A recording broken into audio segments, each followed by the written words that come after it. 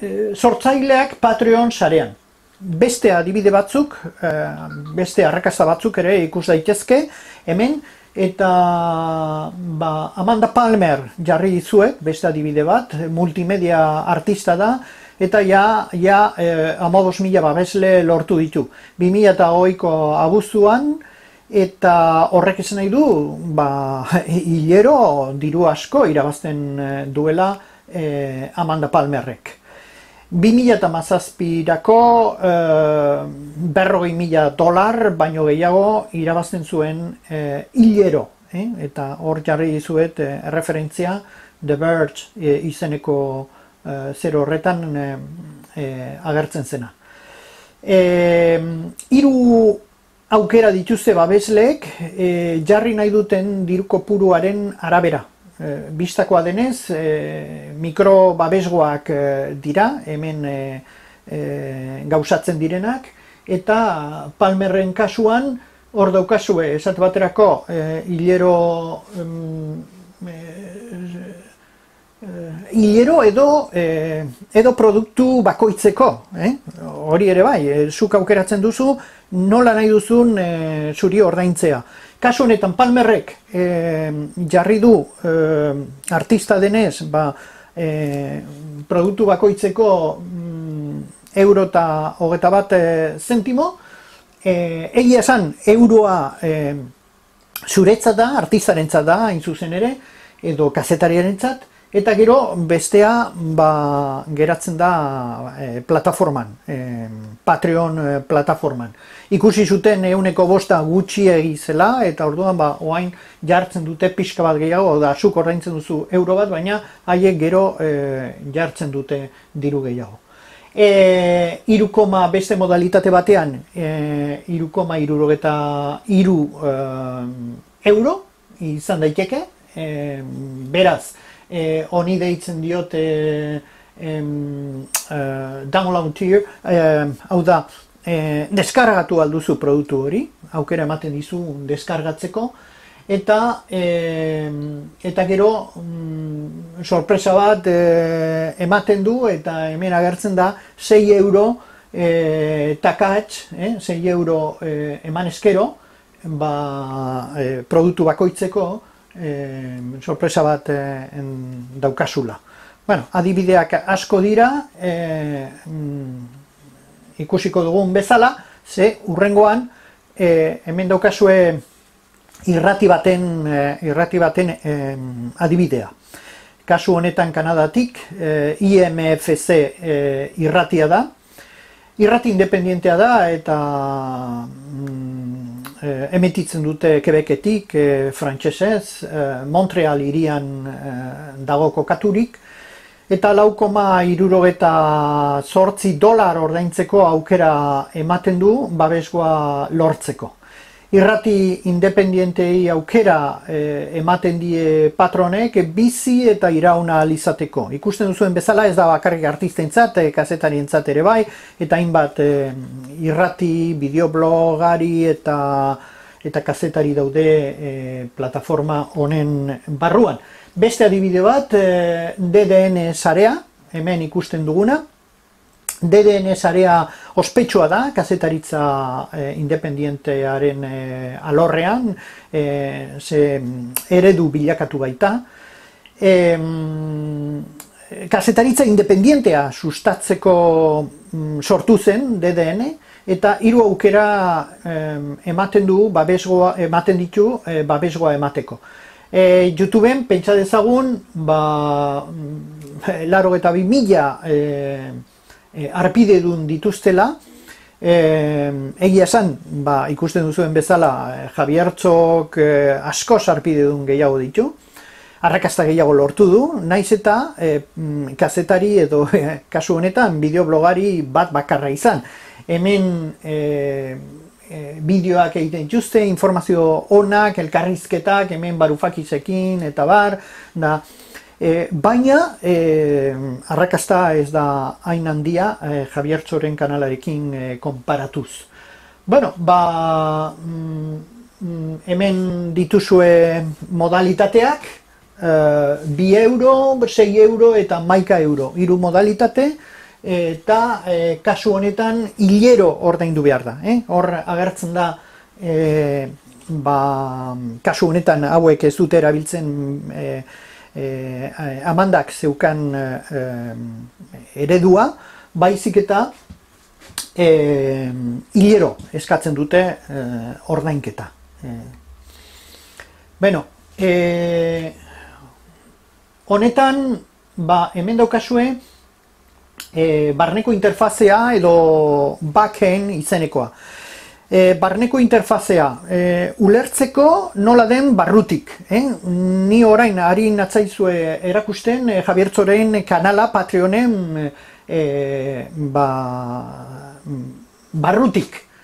E, ikusten duzu hor, ba, jaia zeireun patroi mm, dituela, abuztuan gaude, 2008 garren urtean, eta e, sartzen zaretenean, hau da patroi bilakatzen eh, edo bihurtzen zarenean, automatikoki ba, Javiertzok idatzitako ongi etorria agertzen zaizu panelean. Panelean hiru e, hiru aukera daude, post, hau da berak egiten dituen bideoak, e, astean bi bideo egiten ditu normalean, eta orduan ba, hor agertzen dira, gero my membership edo arpidedu, e, arpideduan aizen aldetik, ba, e, hemen ager daitezkeen gauzak, eta gero community, komunitateko gauzak e, e, ikusi izateko. Sarrerako agurra eta informazioa hor daukazue, e, pantaiakada bat egin nuelako hain zuzen e, bilakatu nintzenean e, patroi. E, barneko interfazearekin e, segitzen dugu, babeslearen sariak agertzen dira lehenbiziko zer horretan, eta mm, etekinak zeintzu diren zergatik bihurtu ba, babeslea hor dago koska. Eta zehazki e, lau agertzen dira, Javiartxok e, jarritakoak hain zuzen ere, ez, nik ez ditu dipini. Bideoak inok baino e, lehenago ikusi al, izan, hori da lehenbizikoa, esan nahi dut, e, askoz lehenago agertzen dira e, Patreonen e, YouTubeen baino. E, horretarako esan diezazu edan Vimeo erabiltzen duela, hain zuzen bideo horiek jartzeko. Hm? Bigarrena, eduki berezia edo aparta duten bideoak ikusteko aukera, batzutan ba, e, estrak ere ipintzen ditu, esaten den bezala. Hirugarrena, e, WeChateko taldean sartzeko aukera, e, Lelek eta Javiertzok e, WeChat talde bat e, daukate, eta WeChat badakizue dela ba, zelan baita esateko WhatsApp bezalakoa, e, baina indartsuagoa, potenteagoa e, txinan, potenteagoa dinot, e, funtzionalitate izugarriak dituelako, gutxi gora bera, ba, zuek ulertzeko telegramen antzekoa, ezta? E, e, guztiak erabili ditugunok badakigu zer den Telegram, zer den WeChat eta zer den e, WhatsApp eta eta ia esan e, WhatsAppek e, kristolako aukerak ematen ditu, orain ordaintzeko ere bai, e, edo zein tokitan eta bar, dirua desagertzen ari da txinan, e, diru, e, esan nahi dute, oain diru digitala izango da, eta WeChat, WeChat aplikazio ere mundu horretan sartu da. E, horrezegatik, baina, bueno, hori ez dator arira, esan dizuet e, Javier Txok e, irugarren e, e, sari bat bezala jartzen duela hori, aukera beraiekin e, txateatzeko eta goteko eta bar, eta gero laugarrena zure izena kredituetan agertuko da bigarren hilabetea igar ondoren. Hau da, e, bideoan e, ikusi baduzu inoiz e, horrelako bideo bat, Javier Txok egindakoa, ikusten duzue, amaieran kredituak agertzen direla, eta kreditu horietan e, ba, patroi guzien izenak agertzen dira, badoaz agertzen, apurka-apurka, eta zelan bait e, oso ideia polita izan zen, ba, e, patroiak e, pozik jartzeko, eh? nagusiak pozik jartzeko. E, gero Discord community ere badaukate, eta mm, geroxeago azalduko dugu zer den hori. Hortaz, e, mundu oso bat, ba, content edo pozik egon daitezen e, patroi guziak, eta hori hain zuzen ba, jaf batean, eta jaf hori Patreon izeneko plataforma honetan dago. Ze, gero ikusiko dugun bezala, beste plataforma batzuk erabil daitezke, ba, ba, harremanetan ipintzeko patroiak eta e, eta e, egileak zelan bait. Urrengo diapositiban e, posta elektroniz, e, elektronikoz e, jasotzen du patroia Javiertzok egindako azken bideoa. Hau da, e, e, zuek e, e, izateko, zerean e, Patreonen sartu alizateko, e, posta elektronika ipintze duzu eta gero pasaitza noski e, edo edo edo Googleen bidez ere egin dezakezue. Eta e, el bideo horretan posta elektronikoko el bideo horretan jasoko dituzue bideoak ba e, Javiertzok eta Lelek egin e, arau edo egin ahala. E, apurka apurka badoaz e, agertzen eta esan bezala normalean bi bideo egiten dituzte. Amar minutukoak, e, gutxi gura bera, ba, e, astero. E, gaiak, jorratzen dituzten gaiak, Javier Txoteietxeak e, hitz egiten du ba, txinari buruz, e, jakina.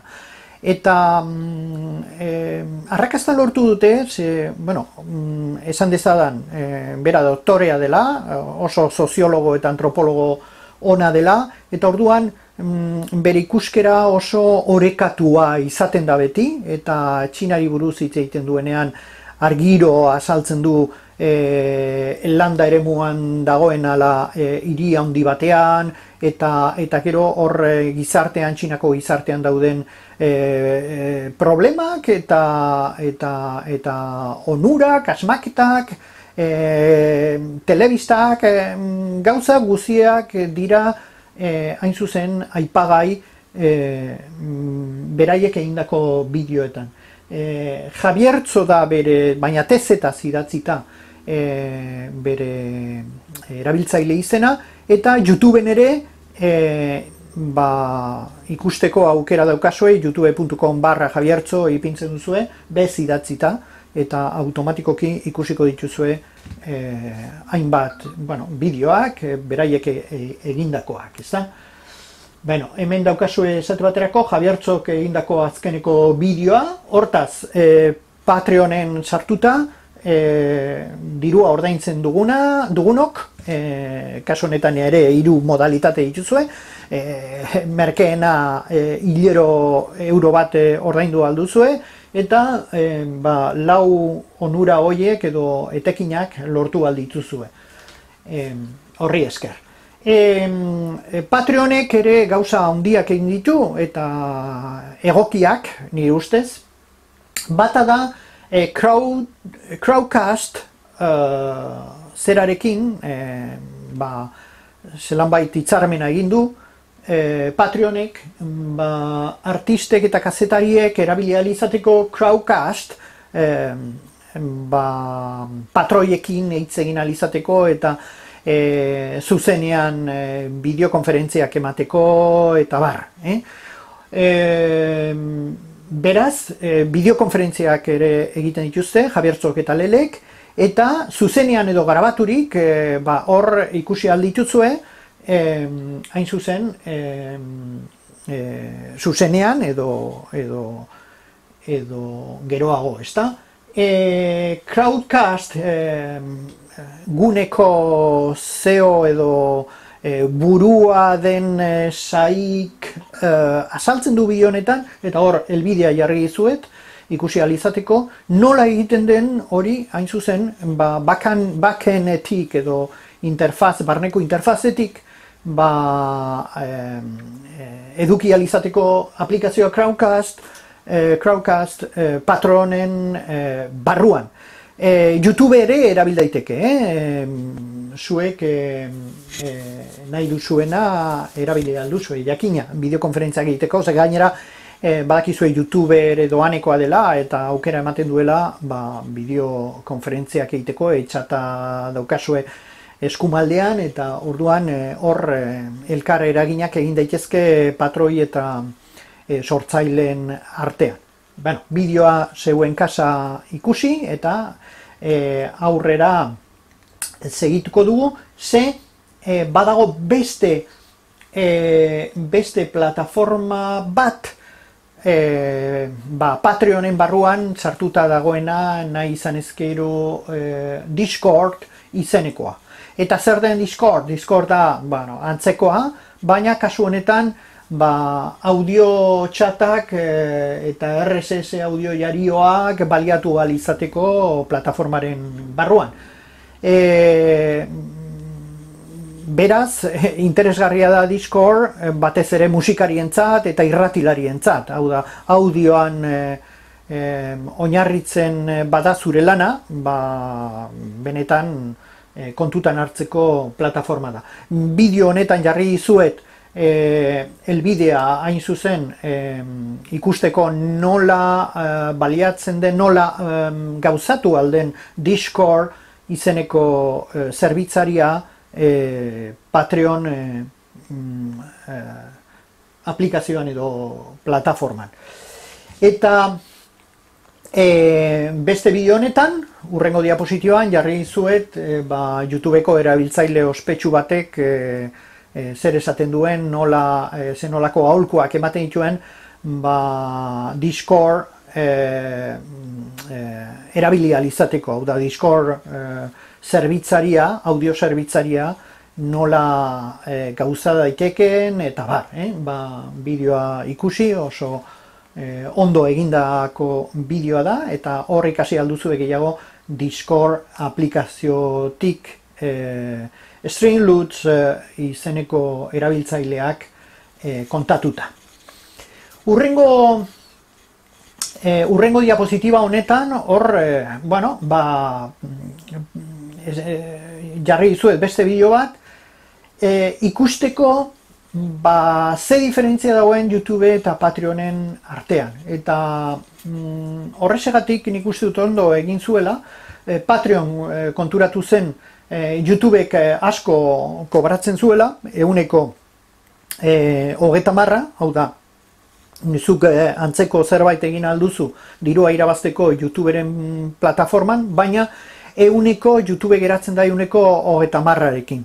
E, Patreonek e, jaitsi zuen prezio hori mm, izugarriro, eta euneko bostarekin ateratzen merkatura. Eta horresatik artista gehienek e, erabaki zuten ba, Patreon erabiltzea, eta ez e, e, YouTube e, Googleen plataforma e, bideo horretan oso ondo mm, asaltzen du e, mutilonek zer den e, Patreon, zer den YouTube artistentzat edo kazetarientzat. E, kasu honetan guri interesatzen zaiguna kazetarien e, lana da. Eta e, YouTubeen hainbat e, bideo dituzue azaltzeko Patreon, e, batzuk aurkatutakoak, nik aurkatutakoak e, Laura Maskarok e, egin zuen e, bideoa, e, Laurak ere e, erabili zuen edo erabiltzen du Patreon plataforma eta horrezatik ba, interesgarria da e, berak ematen dituen e, aholkuak entzutea. Eta beste alde batetik, e, dineru izeneko erabiltzaileak ere oso bideopolita, e, egin du e, ba, Patreonen e, plat, Patreon plataforman gehiago sakontzeko.